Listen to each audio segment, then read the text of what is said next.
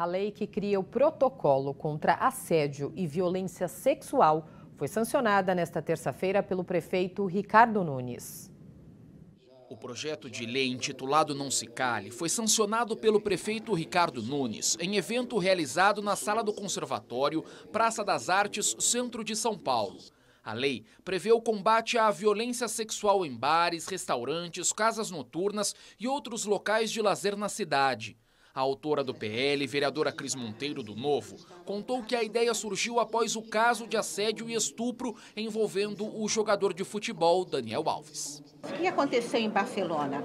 Em Barcelona, o protocolo fazia com que as funcionários do estabelecimento de lazer soubessem lidar com a situação. Justamente por eles terem recebido um treinamento, é que eles puderam identificar, cuidar da vítima, porque o protocolo, o foco é na vítima.